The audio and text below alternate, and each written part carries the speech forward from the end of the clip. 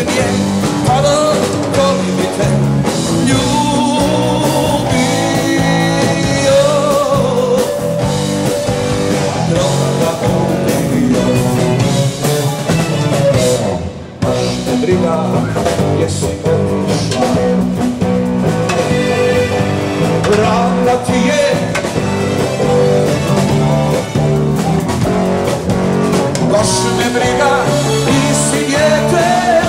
korist Tvoje štete samo Tvoje.